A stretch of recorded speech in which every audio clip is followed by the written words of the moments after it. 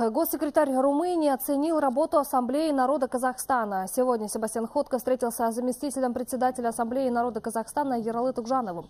Иностранные гости поблагодарили казахстанскую сторону за заботу об этносах, проживающих в Казахстане. В частности, на делегатов произвела впечатление работа румынских культурных центров.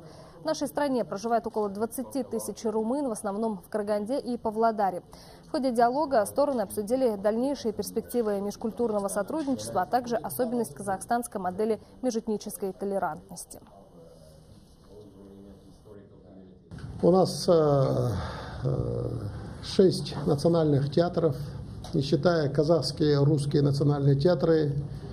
Есть единственный в мире уйгурский театр, узбекский театр, Uzbek театр, корейский театр, Кореян, немецкий театр, 37 этнических газет, средств массовой информации, 192 центра изучения родных языков,